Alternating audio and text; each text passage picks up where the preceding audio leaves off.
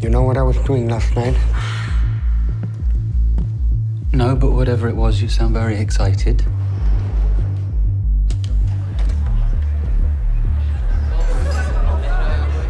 It's my party and my husband doesn't want to dance with me. I'll dance with you.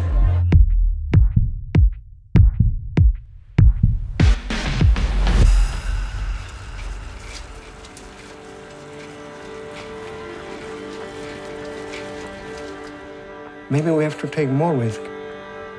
So now you're falling in love with someone else, you're taking that risk. Sick what's happening between us. You cannot change someone like him. What they think, what they want to do. I think I'm falling in love with you. Say that to another image.